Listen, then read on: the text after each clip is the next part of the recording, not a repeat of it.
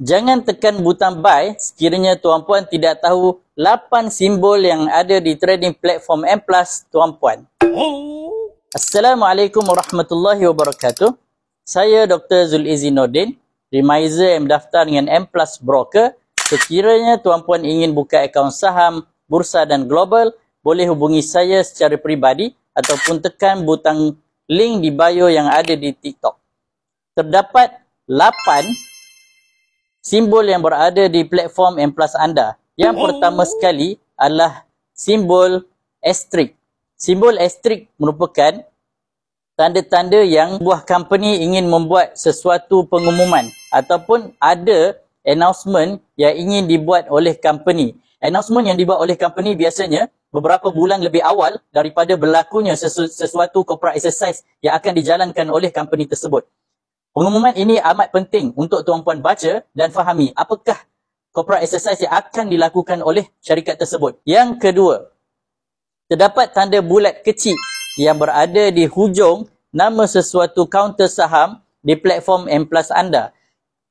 Simbol bulat kecil tersebut menunjukkan yang kaunter tersebut adalah patuh syariah. Sekiranya tidak ada simbol bulat kecil tersebut, kaunter tersebut adalah tidak patuh syariah. Sebagai seorang pedagang Muslim, tuan-puan sepatutnya membeli saham-saham yang ada simbol tersebut yang menandakan bahawa saham tersebut adalah patuh syariah dan telah lulus tapisan Syariah Advisory Council ataupun SAC, Badan Penasihat Syariah Bursa Malaysia. Yang ketiga, sekiranya terdapat tanda seru, tanda seru ataupun uh, air terbalik Tanda seru merupakan tanda, tanda pada sesuatu kaunter yang bermasalah. Tanda seru tersebut menunjukkan bahawa kaunter tersebut termasuk dalam kategori PN17 ataupun uh, PN4 ataupun GN3.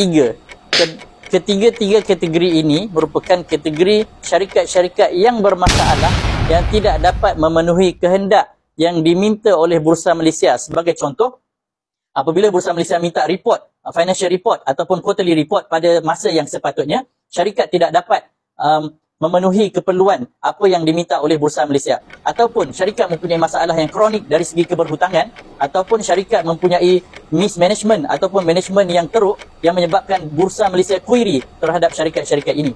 So syarikat-syarikat yang mempunyai tanda seru merupakan syarikat yang terpak yang bermasalah yang ada potensi untuk dibuang daripada list uh, Bursa Malaysia. Dan sekiranya tuan-puan trade counter-counter yang ada tanda seru ini, tuan-puan boleh mempunyai risiko yang tinggi sekiranya syarikat-syarikat ini dibuang secara tiba-tiba daripada senarai bursa Malaysia.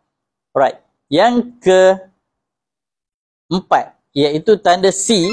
Tanda C adalah tanda yang menunjukkan bahawa kaunter tersebut ataupun syarikat tersebut akan melakukan ataupun sedang melakukan corporate exercise ataupun nama dia dipanggil sebagai come entitlement for the company ataupun sedang berlangsungnya corporate exercise sebagai contoh berlakunya right issue, bonus issue, dividend issue, uh, berlakunya share consolidation, uh, share split, uh, capital repayment um, dan sebagainya. Terdapat banyak lagi lah beberapa uh, corporate exercise yang dilakukan oleh syarikat-syarikat yang berada di Bursa Malaysia untuk uh, restructuring dia punya struktur um, uh, saham yang berada di Bursa Malaysia. Okay.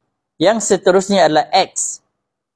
Tanda X mewakili X date menunjukkan bahawa corporate exercise akan berlaku selepas berlakunya X date. X date adalah tarikh di mana sekiranya tuan-puan ingin uh, mem- memperolehi dividen daripada sesuatu company yang akan membuat dividen issue selepas adanya announcement iaitu tanda tanda asterisk yang dilakukan oleh company akan ada tanda X. Tanda X menunjukkan sekiranya tuan-puan membeli saham-saham yang akan membayar dividen sebelum habisnya tanda X pada jam 5 petang waktu tutupnya office hour ataupun tutupnya trading market, maka tuan-puan masih lagi layak untuk mendapat dividen daripada company yang tuan-puan beli tersebut. Okay? So, apabila habisnya tanda X pada sesuatu uh, company tersebut, nama company tersebut, maka tuan-puan sudah tidak layak lagi untuk um, subscribe ataupun untuk mendapatkan dividen ataupun bonus issue yang akan diberikan oleh company tersebut. Okay?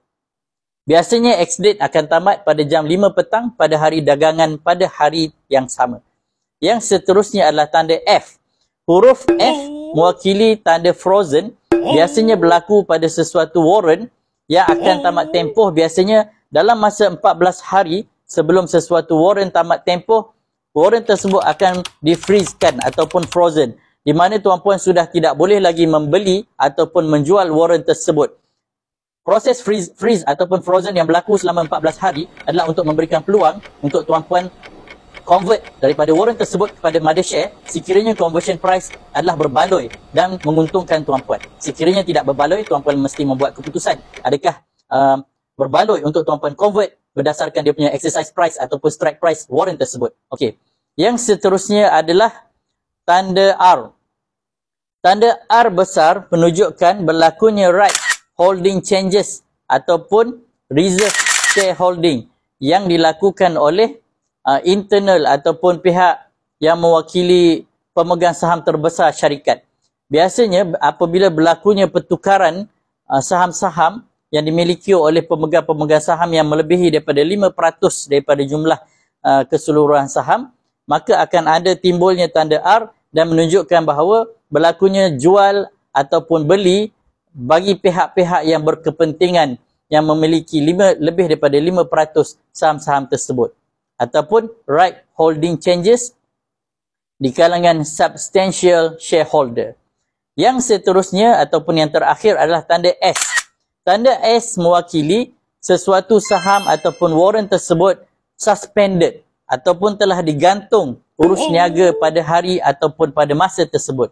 Biasanya suspension berlaku mungkin satu atau dua hari ataupun mungkin lebih lama daripada sepatutnya berdasarkan apa yang ditentukan oleh Bursa Malaysia. Sekiranya warrant yang telah tamat tempoh, maka akan keluar juga tanda S menunjukkan warrant tersebut telah ditamatkan dia punya dagangan dan telah pun digantung daripada diurus niagakan.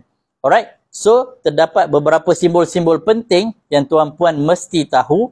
Sekiranya tuan-puan belum tahu simbol-simbol ini, saya menggalakkan tuan-puan jangan dahulu tekan button buy sebelum memahami betul-betul apakah yang dimaksudkan dengan simbol-simbol tersebut. Semoga bermanfaat. Assalamualaikum warahmatullahi wabarakatuh.